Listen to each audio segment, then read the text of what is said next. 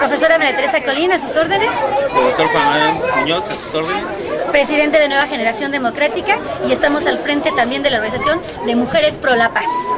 Ustedes como líderes, ya que se unieron a Tranquilino, ¿qué propuestas o qué le propusieron para beneficio de la comunidad? pues que el licenciado Tranquilino, con toda la capacidad que ha mostrado en, estos, en este tiempo de gobierno y de toda su trayectoria como político, que no se olvide de la gente que tenemos muchas necesidades, de los niños, de los grupos vulnerables, de las mujeres también y sobre todo de las necesidades que tenemos en las colonias, como son precisamente la continuación de lo que es el drenaje,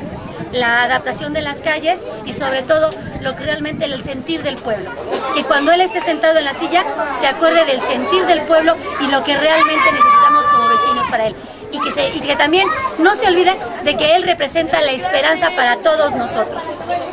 y a su vez también nosotros recordemos que todos los recursos que se dan son por medio de otro partido, así que nosotros estamos un poco estrechos en ese aspecto, pero también las propuestas de Tranquilino es seguir avanzando, porque en este periodo que llevamos revista dentro de los leyes La Paz, lo que hemos llevado son avances, recursos, manufactura en pavimentación de calles, puentes y vamos a seguir por más, porque este es un proceso